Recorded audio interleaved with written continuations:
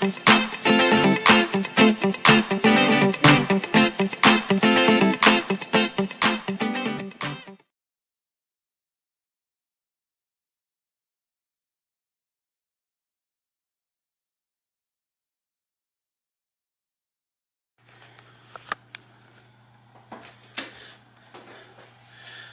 hi everybody. I'm standing here waiting for my groceries to be delivered. I'm trying to work out whether I'm being incredibly lazy or incredibly smart.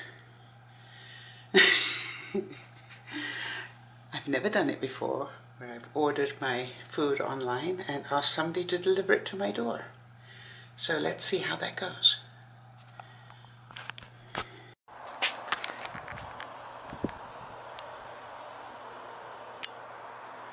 Oh, there's the van. Well, there's the van. Apparently the guy's name's Mark. Exciting.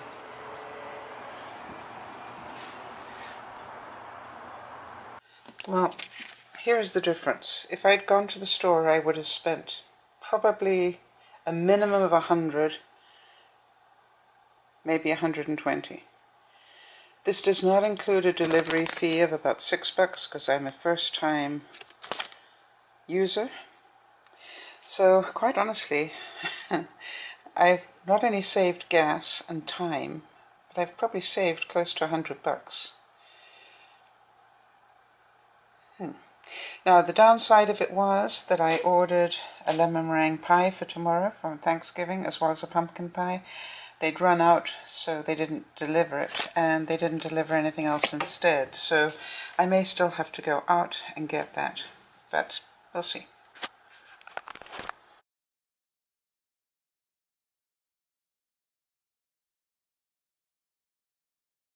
Hello everybody, this is Dear Mama Sal on a changeable Sunday morning. Very unusual for me to be recording a vlog in the car on a Sunday morning, but I am about to do my civic duty. As you know, here in Canada we do things on a slightly different time scale than people in the States, so it's officially Thanksgiving weekend for us. So, and I'm sure you all wish me a happy Thanksgiving, as I do all my Canadian viewers. Um, but the other thing is, that we're coming up to elections and I'm on my way to go vote. And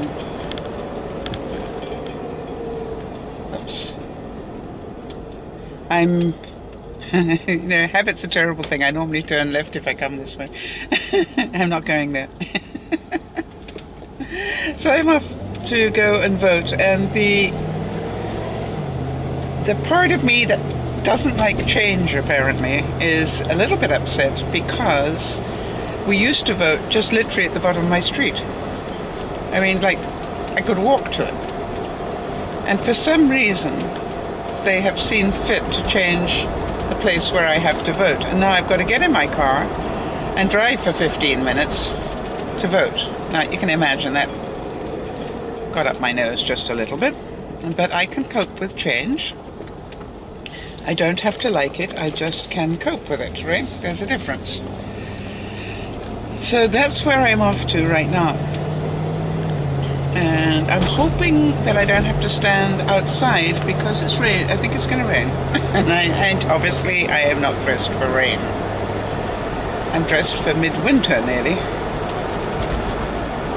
It's a really strange sort of feeling about the day today. It can't quite make up its mind. It's 14 degrees, 57 American. Um, so it's sort of like, yeah, right.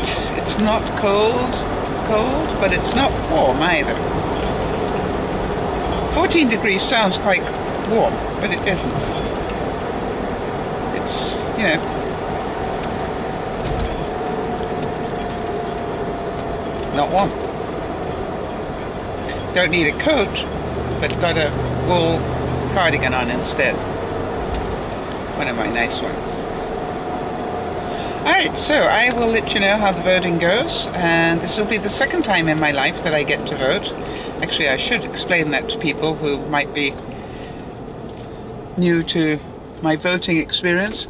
Um, all my life, I lived, I, I left England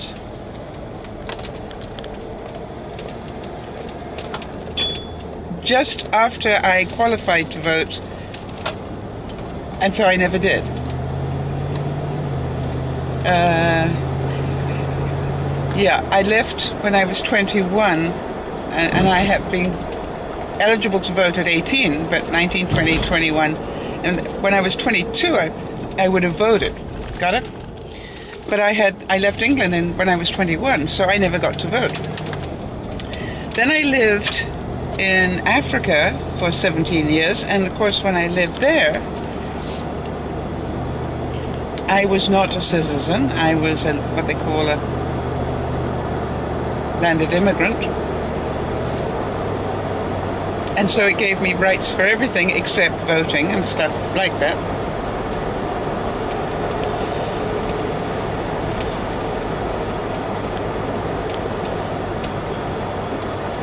And then I came to Canada.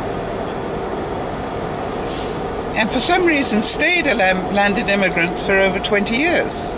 Never ever became a citizen until one day I went to renew my landed immigrant documents. And the woman behind the counter said to me, May I ask you a personal question? And I said, Sure, go right ahead. She goes, Is there a reason why you have never applied to become a Canadian? Because you've been here over 20 years. I think you qualify. And by the way, at your age, you don't have to take the test. Now, I don't know about the rest of you, but I realized as she said that word that part of the reason I had never applied to become a Canadian was because you had to take some stupid test. And I'm quite human, like a lot of you.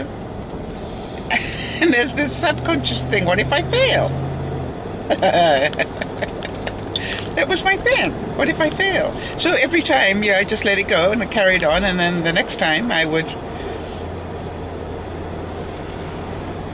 go through the same process and never did apply to become a Canadian. And then she said the magic words you don't have to take the test. I said, Really? Give me the documents. What do I need? and then I have, I know it sounds strange for some of you, but I have an abhorrent fear of filling in legal documents, government documents. And I think it has something to do with the fact that I lived in a police state for many, many years, um, where if you did things wrong, they could throw you in jail and throw the key away for a long time. So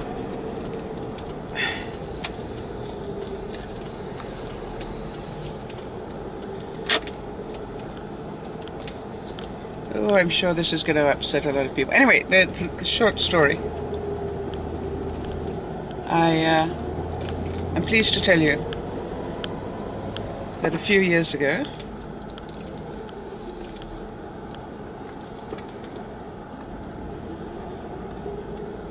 I applied.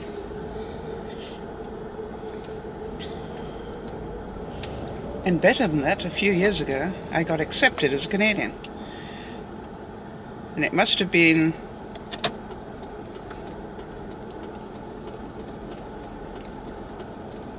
Oh gosh, please, please, people.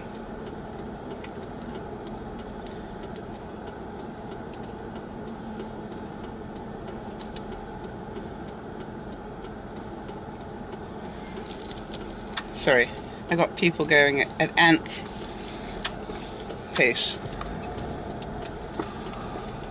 Anyway, so the good news is I became a Canadian and got to vote. So this is my second time of actually voting. It's very exciting for me. I'll be back in a minute. Well, that was interesting, and one of the nice things about doing something like that is you get to stand in a lineup. um, but I found that the trick is look for a friendly person. And that's what I did. And I slipped in behind a friendly person, and she and I were chatting away, and it made the time go quickly. And she was about as shy and retiring as I am. And uh, so that made it a fun experience.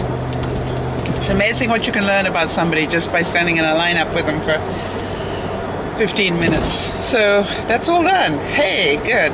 Now, the reason that we were talking about it, and the reason I wanted to talk about it, is because one of the things that I challenge you to do, uh, for those of you who are in the States uh, and still got your election going, and any of the Canadians who haven't voted yet, um, if you know any person that is eligible to vote, um, make sure that they do. I think people think that it doesn't make a difference. And I want to tell you something. If you can't be bothered to get off your rear end and go vote, you don't have the right to complain, in my view. And that's my view, and I'm sticking to it. Um, the same thing as I encourage all the young people I know to go vote. And they also say, oh, what's the point, Sal? You know, it doesn't make a difference. And I go, oh, yes, it does. Yes, it does. Now, I'm in a, a particular riding here um, that is apparently very close at the moment. Uh, everybody thought it was a shoe in for a certain candidate, and another candidate stepped up uh, uh, on and made themselves available. And now suddenly, this is a very hotly contested seat. So does my does my vote count this time? Absolutely. You know, it could be the difference of one or two votes, and my vote could be one of those one or two votes. And so that's what I try and explain to, to young people when I talk to them about it, which is you never know how closely contested your riding is. And how would you feel if somebody won by one vote and you didn't and you didn't vote? How would you feel then?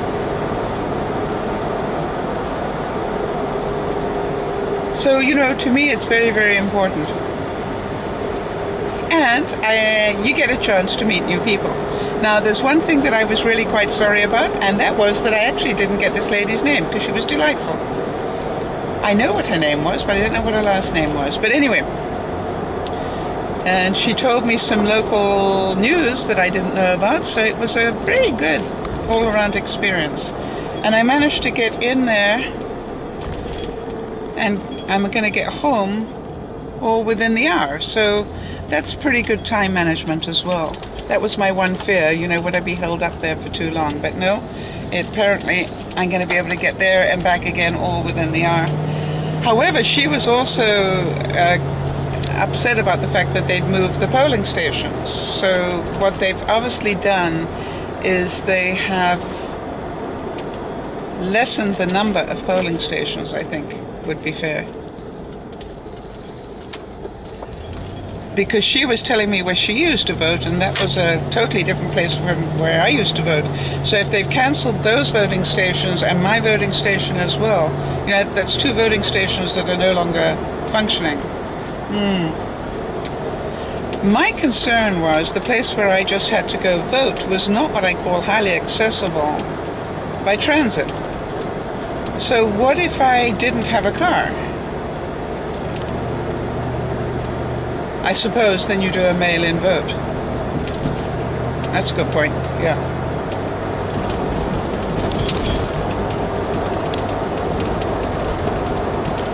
Yeah, that would make sense. That's the only way you could do it. Okay. Lots of thinking around that one. We got clouds coming in all over the place. So, thought for the day is vote, obviously. Have an opinion. You don't, it doesn't have to be right.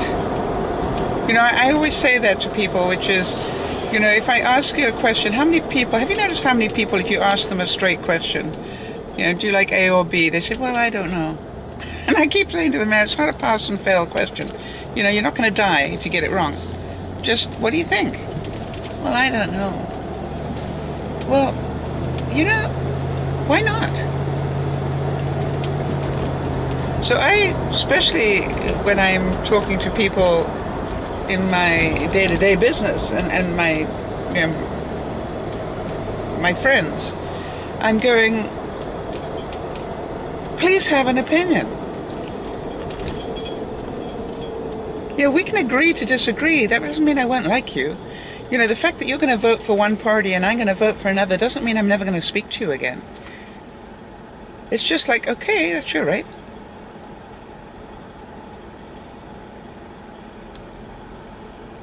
That's why we have the system.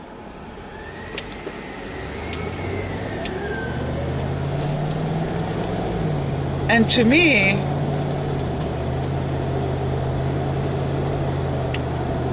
to me, the next question is do you vote for the person or do you vote for the party? That's a difficult one for some people. You know, because I really like the person who is in my riding, but I don't like the party overall. Or the opposite, which is I really don't like the person that's running in my riding, but I really want to vote for the party. So that does make it difficult for some people. And the good news is, it's your choice. Absolutely your choice. Where you put your vote. Do you put your vote to support the person? Or do you put your vote to support the party?